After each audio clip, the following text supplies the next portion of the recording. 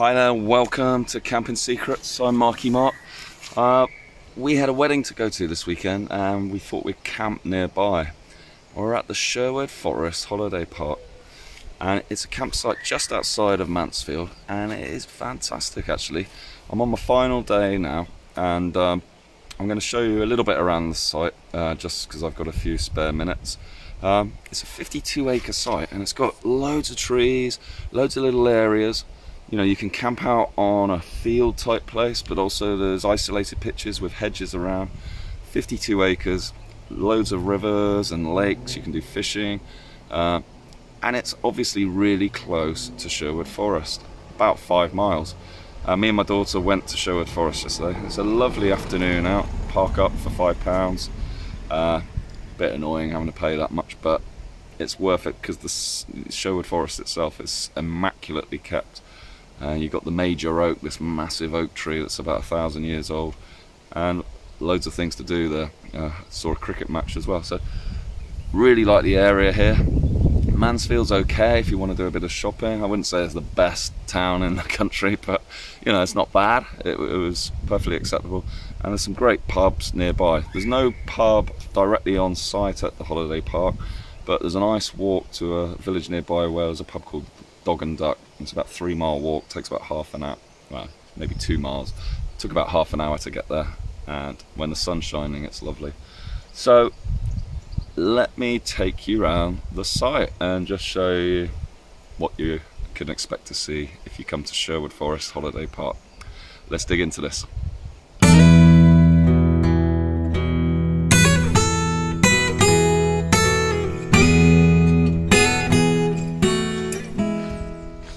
Walking up to the reception area here. There's a little shop, uh, laundry information point over there. I'll show you around. So just by reception there's this lovely little fountain and well with koi carp down in the water swimming around. Loads of stuff for sale, all the essentials, camping gear, fun gear, and a bit of food and drink. I'm not going to film inside. Uh, outside here, post box on site, telephone box actually. Wow, you don't see many of these these days. With an actual telephone in it. Wow. Don't think it works though. Defibrillator. This is the laundry room.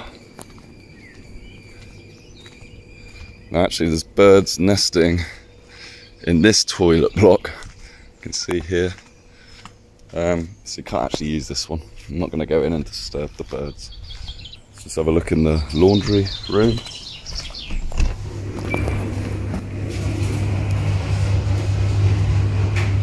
So washer is five pounds, 45 minutes, and the dryer a pound, 20 minutes. So I'd say the dryer is actually better value. Great to have that on site though. If you're here for a week or longer, you might want to do some washing. Um, that seems fairly reasonable to me. Okay, let's push on and see some of the pictures Sherwood Forest Holiday Park has got to offer. So this is where the warden camps, warden on duty. They always get the best pictures, don't they? Stands to reason. pitch. Just packing up, ready for the journey home.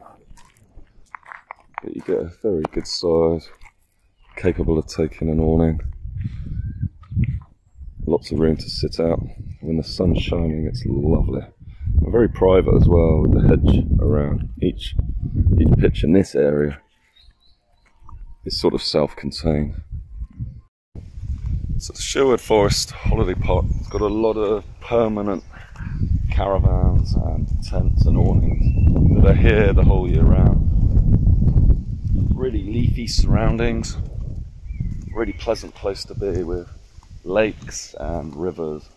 You can see these are sort of static caravans, touring caravans that people have kept in place and they even build their own little garden areas as well. So we've got an outdoor pot washing area here.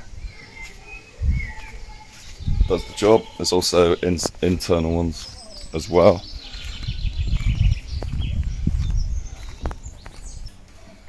That typical toilet block and shower. Get your own little cubicle for the shower.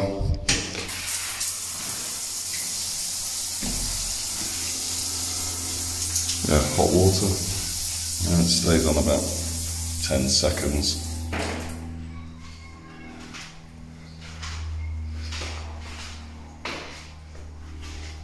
Toilets are nice. No problem, haven't seen any blockages or anything. All nice and clean. Yeah, perfectly serviceable. Permanent caravans on site, but also green areas where you can pitch a tent. So along here by this lake, lovely little lake, you're allowed to pitch tents. People have done so. So you've got that mixture of caravans, tents side by side. If you want to be in an area where you're all together, you can do that. Or if you want an isolated pitch like we've got with the hedge around it, you've got that as well. So wide range of sort of pitching. This little area is lovely with this lake. Got some geese just here with some babies.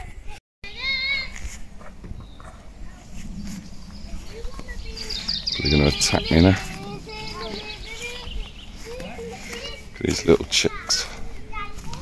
So fluffy. Another lovely lake here. Stretching about 200 yards along. With touring caravan pictures viewing out across the lake. Lovely. Such nice trees, weeping willows, plenty of oaks, Absolutely beautiful. Very easy to lose yourself here and relax.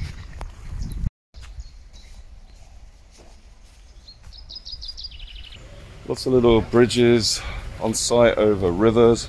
It just makes it pleasant walking around. Got an ice cream van on site at the moment. It's just uh, laid out really well. I'm going to take a walk along this river and see what I can see as I do it. Ice cream. I'll have a Mr. Whippy, please. Yeah, really nice. I guess anywhere's nice when the sun's shining in the UK, but it's quite like saying Sherwood Forest. I feel a bit like Robin Hood, Robin Hood, riding through the glen. So what about pricing? Well, it's not a cheap campsite. That's got to be said. In the winter, it's £30 a night, £60 for your weekend stay. And then in the height of summer, it's £42.50 a night, which is pretty expensive and almost double your typical campsite. I mean, I would argue that the facilities and the grounds of this campsite make it worthwhile. In our case, we were going to a wedding, uh, which happens to be about five miles away, so it really suited us to stay here. But I'm glad I've been here now. I really enjoyed it. Uh, made better by the weather, I guess. Um, but you'd have to make your own personal judgment whether you want to pay upwards of £80 in the summer for a two night stay over the weekend. One good thing on the Sunday is that you are allowed to stay till 7 pm on the Sunday. It means you can have a much more leisurely final day instead of that horrible pack up before 10 o'clock in the morning. Horrible feeling, especially when you got a hangover like I had dancing till about 1 am last night. Um, another toilet block here and the, the, the loos are really good uh, nothing to complain about with that just want to show you one of the indoor pot wash areas so this one's inside pretty standard just a dual sink but bring your own washing up liquid but it's perfectly fine. You can leave the taps running. It's not one of these pressing down. You just put them on, and it will give you hot water consistently with decent pressure. So back at our pitch now, and one of the miraculous things about doing uh, YouTube videos is that when you come back, the awning is all packed up. It's absolutely fantastic. It's like magic. Call it the magic packing up. So, what's our conclusions on Sherwood Forest Holiday Park, girls? We really liked it. It's it's not the cheapest, but it does have good facilities, private pitches, large pitches. I mean, the size of the pitch is fantastic, and I love having the privacy with the hedge round. Of course, it helps that the sun's shining. You can't pay for that. That's random UK weather. But I think on a scale of 0 to 10, I'd give this an 8 out of 10. Would you agree? Yeah. So, really good site. Thumbs up from us. And uh, hope you've enjoyed the video. So, please like and subscribe, and we'll be doing loads more in the future. I better help these guys just put the final chair in. Job's a good one. See you soon. Bye.